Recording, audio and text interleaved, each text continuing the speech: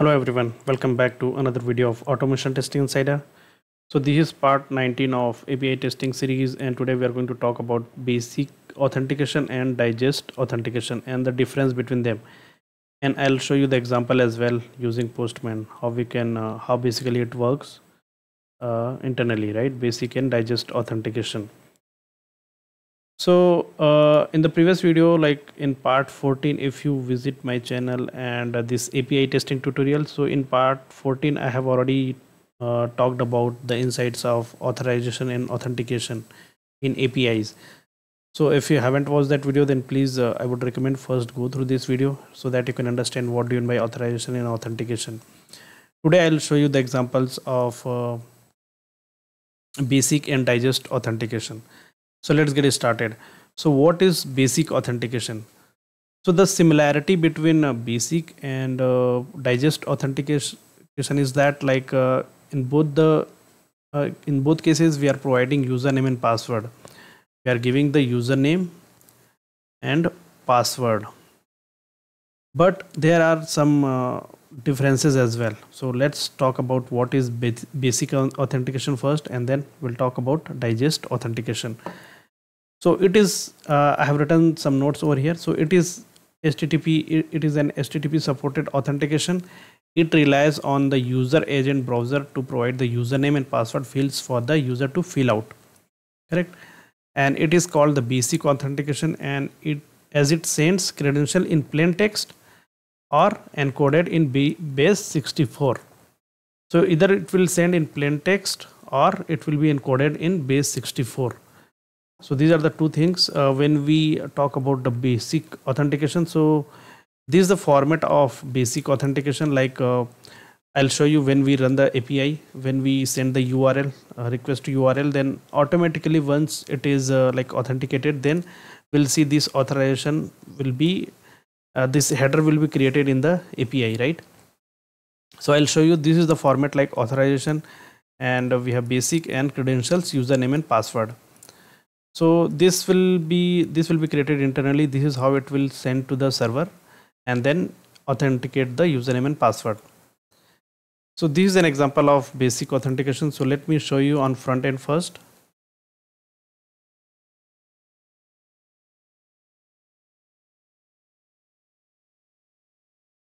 So if you fire this url it will ask for uh, this one right pop-up username and password. So the username is admin and password is admin. I'll give this example this example url in the description box of this video uh, along with username and password so that you can use it. Click on sign in. And then i'll be able to access this uh, website right? Basic authentication. Congratulations you must have the proper credentials right? And the same thing is for uh, uh digest authentication as well which we are going to discuss.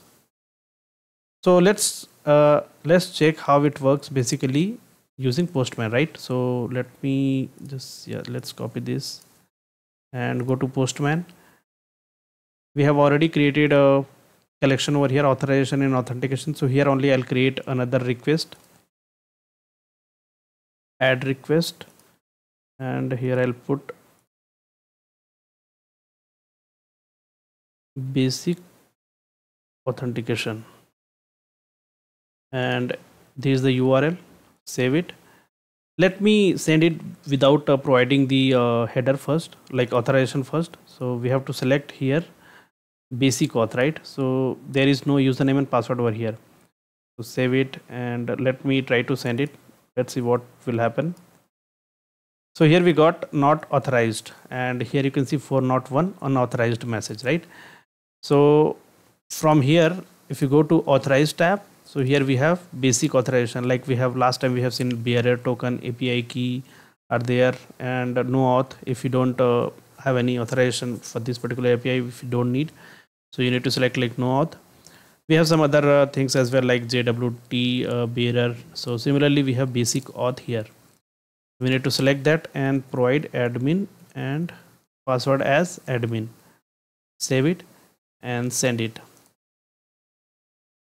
Now here you can see 200 okay message we got right? And uh, this the response we got in html format because this api that this is what it is designed like uh, in html format right? To to get the response. And uh, you'll see uh, here some message as well like congratulations you must have we have the prom, uh, proper credentials i think we got the same message here as well. So the same thing we got the message here in the response. So this is authenticated and we got the result. And coming to this head header part so if you see authorization it is showing like so this it is created automatically right? Authorization basic. Let me show you without uh, giving admin and like username and password before that send it. So we got non not uh, authorized. And if you see in the authorization section header section you'll see basic like you'll see this blank value something like this right? And once you provide the values here like uh, admin and password as admin send it again. You'll see that header will be created like this basic and this is the B base 64 encoded value. So how we get this value right? So i'll show you also how it will how you can encode your password to base 64 format. Right? So just google it. Base 64 encode. Go to this particular link. And uh, what i'll do uh, what is our username? Admin colon admin. So this is the format guys uh, for this one. Like basic username colon password right? So if you give like admin colon admin here because our username is admin and password is admin. And simply click on this encode button.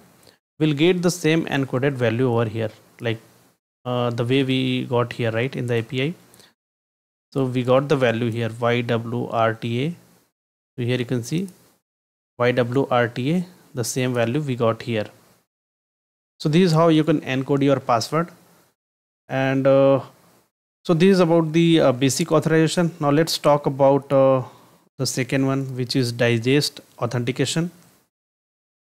So this is another type of HTTP HTTP uh, supported authentication considered a bit secure than basic. It is a little bit secure than basic authentication as it sends the hashed password over the server instead of plain text one along with the other values. So it sends uh, sends some other values as well along with hashed password. So what is ha password hashing right? Password hashing. So here so this is normal password we are sending and uh, using hash function it will be converted to the hashed password which is very complex.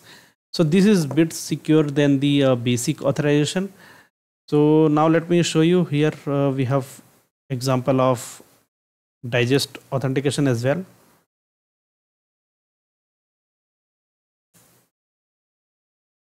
Just put the url on the browser.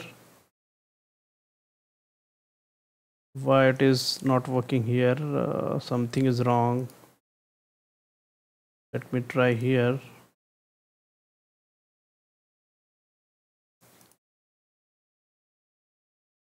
anyway let's try through postman whether it is uh, working fine there or not. So this is basic authorization and uh, i'll create another request. Add request and this time this should be digest auth.